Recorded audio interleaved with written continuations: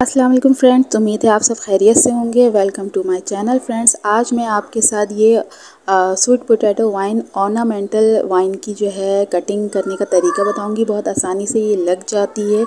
और आप जो है इसको किस तरह से कटिंग करेंगे, वो तरीका बताऊँगी, कौन से सॉइल मिक्सचर लेना है, वो तरीका बताऊँगी, कहाँ रखना है, ये सब बातें बताऊँगी तो आप इस वीडियो को स्किप करके ना देखिएगा। सबसे पहले तो जो भी टूल इस्तेमाल करें, उसको सैनिटाइज़ कर, ज़रूर करें, क्योंकि अगर टूल में कोई बैक्टीरिया लगा होगा तो आपकी कटिंग ख़राब हो जाएगी। तो सबसे पहले तो इसको हम सैनिटाइज़ कर लेंगे। अच्छा फ्रेंड्स अब मैं बताऊँगी आपको कटिंग कहाँ से की जाए। देखें इसी तरह से जो भी है इसकी कई नोट्स होती हैं, इन्हीं नोट्स एरिया से इनकी रूट भी निकलती है और इन्हीं नोट एरिया वजह से इनकी नई शूट्स भी निकलती है। तो फ्रेंड्स हम जो है, अगर सिंगल लीव्स के साथ भी इसको कटिंग लेते हैं, इसकी नोट की तो बहुत आसानी है। तो मैं आपको ये करके दिखाती हूँ।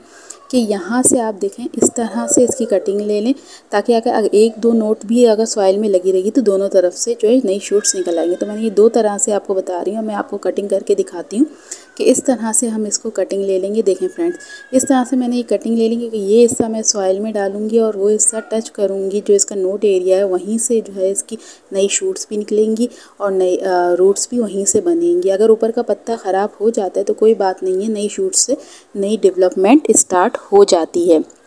तो फ्रेंड्स मैं अब आपको इसको सॉइल में आ, लगाना बताऊँगी। अब ये बताती हूँ पहले कि सॉइल हमने कैसी ली है। तो सॉइल मिक्सचर के लिए मैंने गार्डन सॉइल ली है कंपोस्ट लिए जो लीफ कंपोस्ट हो या वर्मी कंपोस्ट जो भी लेना चाहें ले सकते हैं आसानी से। इसके अंदर रेत भी ली है और साथ साथ मैंने कोकोपीट का इस्तेमाल किया क्योंकि जब तक कटिंग लगी रहती है पानी सॉइल में जो है नमी बनी रहनी चाहिए। अगर सॉइल में नमी नहीं होती है तो फिर वो रूट्स बनना आसानी से नहीं डेवलप होगी रूट और आसानी से नहीं बनेगी। साथ में मैंने लिया है ये फ़ोर इंच का हैंगिंग पॉट क्योंकि जो भी ये स्वीट पोटैटो वाइन है, क्योंकि जब ये हैंगिंग पॉट में बहुत खूबसूरत तरीके से लगती है तो मैंने इसको हैंगिंग पॉट ही लिया। अब मैं इसको फिल्प करूँगी। तो फ्रेंड्स वेल ड्रेंड सॉइल सबसे ज़्यादा बेस्ट होती है।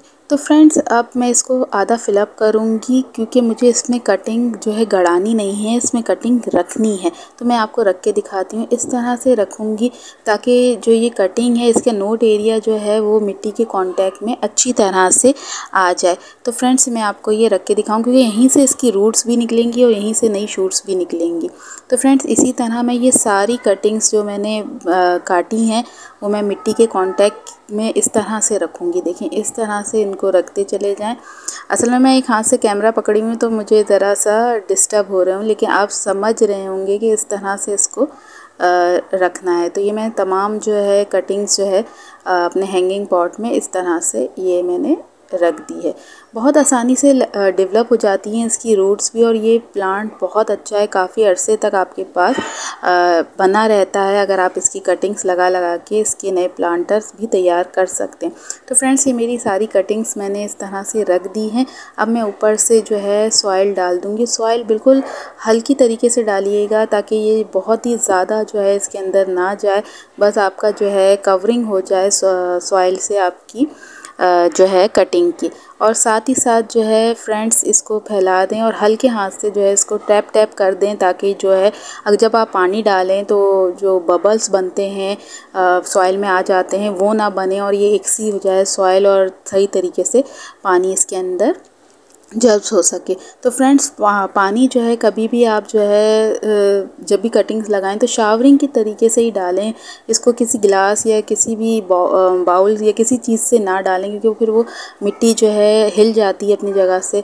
शावरिंग से है कि आसानी से पानी बैठ जाता है। फ्रेंड क्योंकि अगर पानी बैठ जाएगा, ठहर जाएगा तो कटिंग ख़राब होने का डर रहेगा। तो फ्रेंड्स इसको फिर सेमी शेड एरिया पे रखें डायरेक्ट सनलाइट पे ना रखें। अच्छी, जल्दी इसकी ग्रोथ हो जाएगी। अगर फ्रेंड्स आपको मेरा कटिंग का वीडियो पसंद आया होगा तो इसे लाइक ज़रूर कीजिएगा। कमेंट्स में अपनी राय ज़रूर दीजिएगा। अगर मेरे चैनल पर नए हैं तो सब्सक्राइब करना ना भूलें। फिर मिलेंगे नेक्स्ट वीडियो में। अल्लाह हाफिज़।